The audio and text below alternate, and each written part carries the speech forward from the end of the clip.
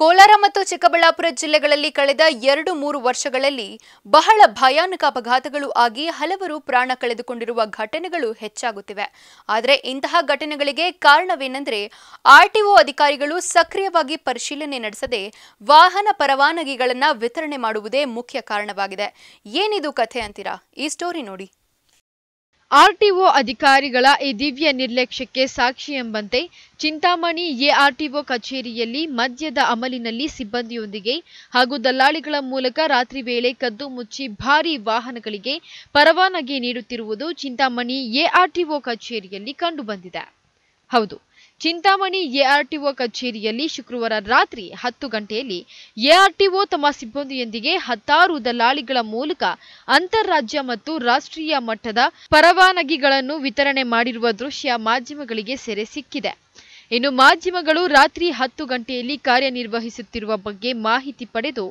ARTO ಕಚೇರಿಗೆ ತೆರಳಿದಾಗ ಕಚೇರಿ ತುಂಬ ದಲ್ಲಾಳಿಗಳು ಕಡತಗಳನ್ನು ಕೈ ಹಿಡಿದು ಎಆರ್ಟಿಒ ಅಧಿಕಾರಿಗಳ ಟೇಬಲ್ ಸುತ್ತ ನಿಂತಿರುವುದು ಕ್ಯಾಮ್ರಾಗೆ ಸೆರೆಯಾಯಿತು ಅಷ್ಟೇ ಅಲ್ಲದೆ ಮಾಧ್ಯಮದವರೆಂದು ತಿಳಿದ ಕೂಡಲೇ ಎಆರ್ಟಿಒರವರು ಅಲ್ಲಿಂದ ಕಾಲ್ಕಿತ್ತು ಮಾಧ್ಯಮದವರ ಪ್ರಶ್ನೆಗೆ ಉತ್ತರಿಸದೆ ಪರಾರಿಯಾದರು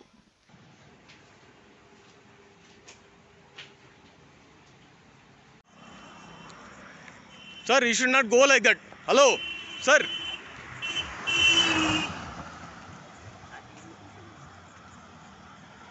Sir, excuse me, sir.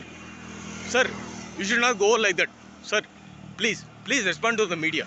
Sir, sir, can you listen to me? Sir, sir, please. Can you listen to me? Why do you walk out from the office, sir? Please. Please respond, sir. No, sir. Sir, can you listen, sir? Sir, can you listen, sir?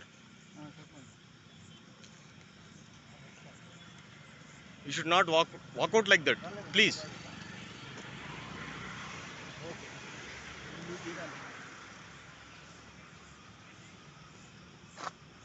No, sir, you should not do like that. ಕೇಳಿ sir ನಾನು ಏನು ನಿಮಗೆ ತಪ್ಪು ಪ್ರಶ್ನೆ ಅಂತ ಕೇಳಿದ್ರೆ sir sir ಏನು sir sir ರಾತ್ರಿ ವೇಳೆಯಲ್ಲಿ ಯಾಕೆ ಫೈಲ್ ಪರಿಶೀಲನೆ ಮಾಡ್ತಾ ಇದ್ರಿ ಸರ್ ಸರ್ ಸರ್ ಕೇಳಿದೆ sir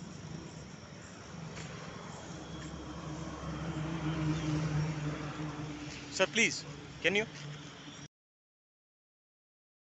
ಇನ್ನು ಆರ್ಟಿಒ ಅಧಿಕಾರಿಗಳು ಪರವಾನಗಿ ನೀಡಬೇಕಾದ್ರೆ ವಾಹನ ಕಂಡೀಷನ್ ಪರಿಶೀಲನೆ ಮಾಡಿ ಸೂಕ್ತ ದಾಖಲೆಗಳೊಂದಿಗೆ ಪರವಾನಗಿಯನ್ನು ವಿತರಣೆ ಮಾಡಬೇಕು ಆದರೆ ಚಿಂತಾಮಣಿ ಎಆರ್ಟಿಒ ಅಧಿಕಾರಿಗಳು ಮಾತ್ರ ಯಾವುದೇ ನಿಯಮಗಳನ್ನು ಲೆಕ್ಕಿಸದೆ ಕದ್ದು ಮುಚ್ಚಿ ರಾತ್ರಿ ವೇಳೆ ಪರವಾನಗಿ ವಿತರಣೆ ಮಾಡಿದ್ದಾದರೂ ಏಕೆ ಎಂದು ಸಾರ್ವಜನಿಕರು ಪ್ರಶ್ನಿಸುವಂತಾಗಿದೆ ವೆಂಕಟಾಚಲಪತಿ ಅಮುಕ್ ಟಿವಿ ಚಿಂತಾಮಣಿ